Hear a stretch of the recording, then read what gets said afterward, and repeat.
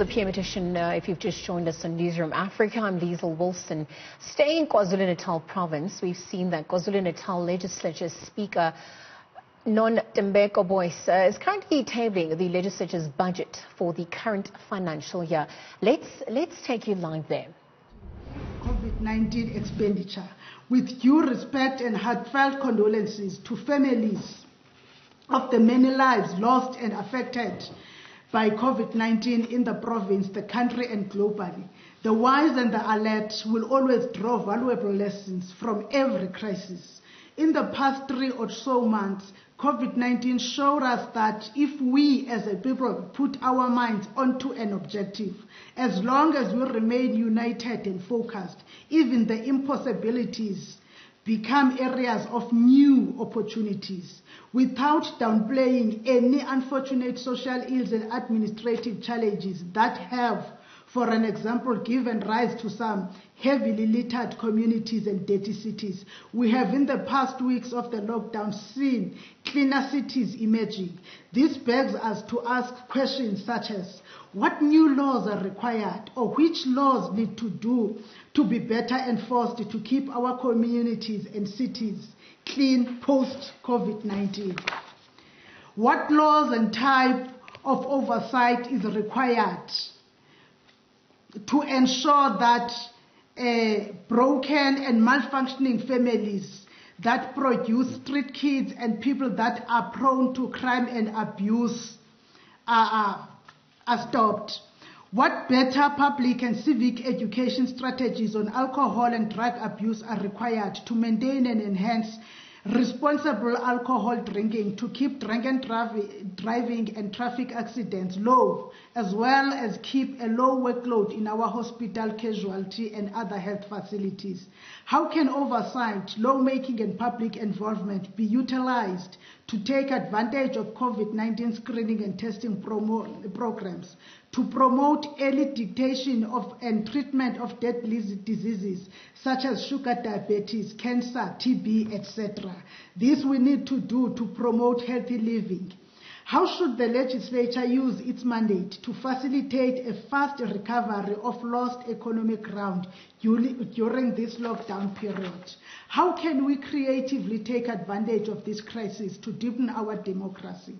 We acknowledge the timely turnaround delivery by government on many issues, ranging from tackling crime-related cases to provision of basic services such as water and its communal tanks and many other services delivered during the COVID-19 lockdown pandemic.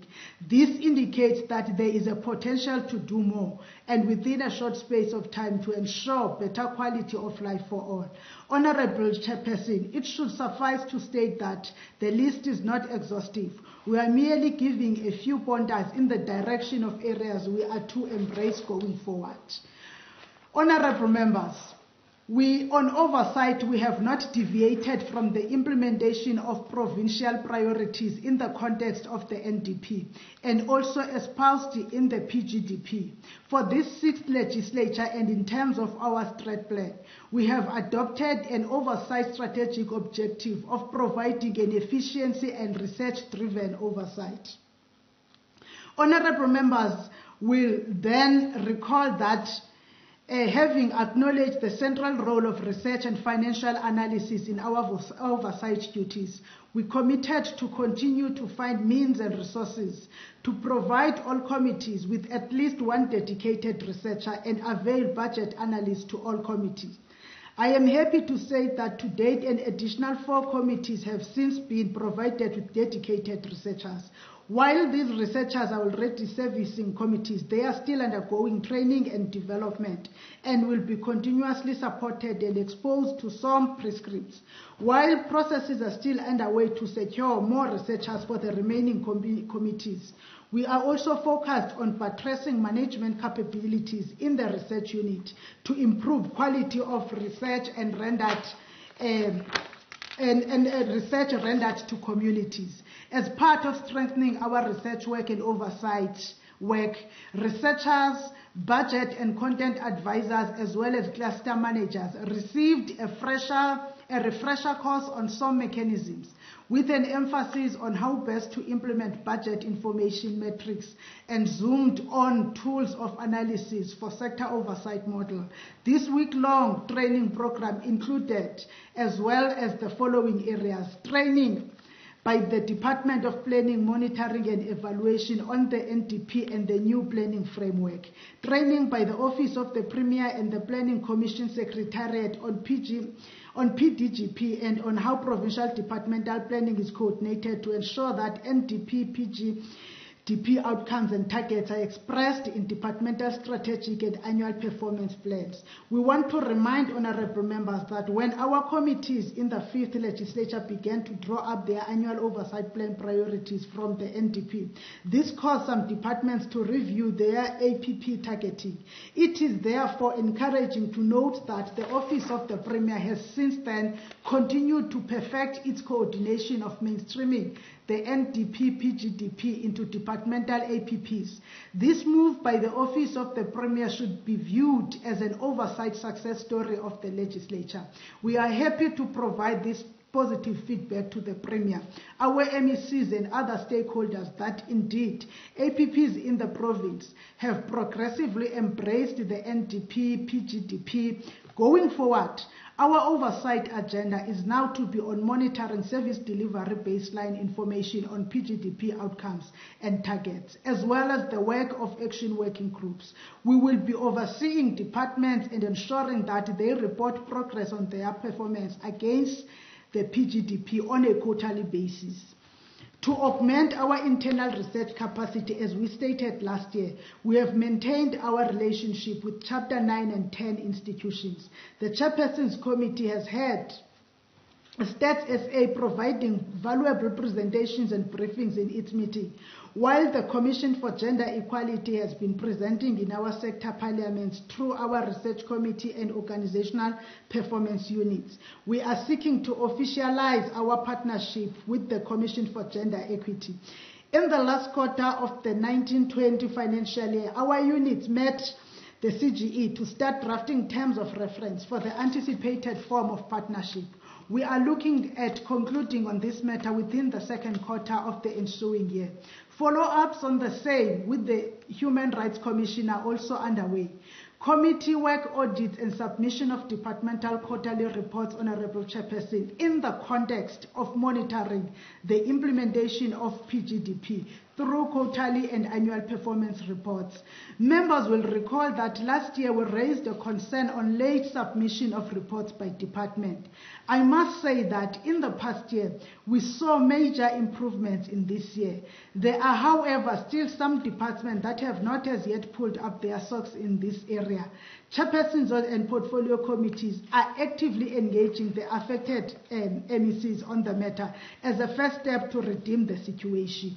The second approach introduced on this matter is that the analysis of departmental quarterly reports have in our 2020-2021 APP been elevated into a quarterly report regime in terms of FAMPLA.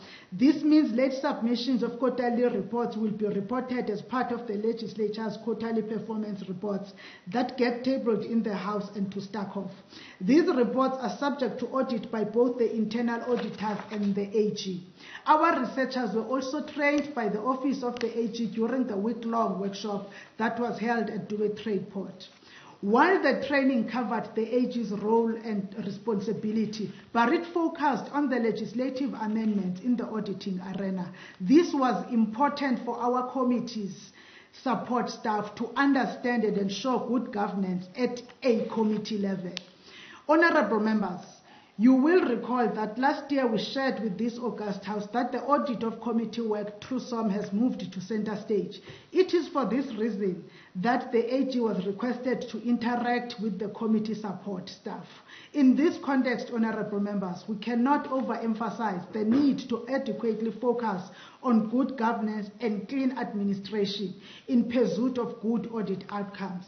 There is a need to continue to seek and implement means of eradication of non-compliance and corruption with government, uh, within government and the legislature itself.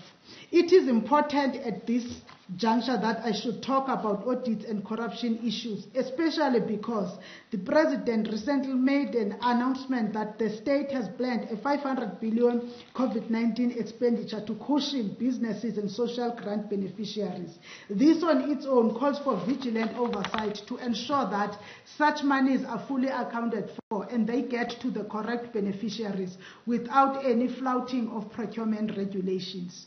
Our oversight committees are committed to ensuring that risk and fraud prevention plans by state departments and entities are effectively implemented. While oversight should cover all budget programs in our departments, it is advisable to prioritize that consume large chunks of departmental budgets. We should also keep a sharp eye on poor audit outcomes, service delivery, and fraud issues raised by the public and media because such matters may be precursors of wasted state resources that may lead to service delivery protests. While on the issue of COVID-19 and oversight, Honorable Chairperson, allow me to commend the good work and interventions done by the committee by all committee chairpersons in their constituency areas and also in their portfolio committees. They intervened when our people were ill-treated during this uh, lockdown period, when regulations were not followed by retail owners, when crime-related activities were taking place, and when many uh, cases were reported. They ensured that MECs intervened and acted accordingly. These were even shared and discussed in their own platform uh, that is made solely for the chairpersons. Success stories of interventions by MECs were also reported in the print media by various government departments, but they emanated as observed by chairpersons and members of this House on the ground. Our people were also reporting their issues and concerns to them for championing as their representatives as part of ensuring robust oversight, especially on projects by the executive. Some requires that oversight visits be conducted to verify reported performance. While this remains an effective tool, it is a tool that needs to be executed with cost in mind. It is for this reason that last indicated that a mechanism would be put in place to ensure cost effectiveness in this regard. Indeed, through the office of the chairperson of committees, controls were effected and honorable members are here to attest to that.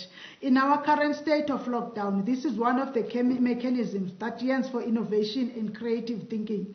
The functionality oversight program is another type of oversight visit wherein the health facilities, schools, war rooms, community policing fora, etc., across the province. Well, that was KwaZulu-Natal Legislature Speaker Nontembeko Boyce just uh, tabling, uh, tabling the legislature's budget for the current financial year. Just uh, touching on a few key issues, including the provision of basic services as well as service delivery, reflecting gender inequality in uh, terms of references.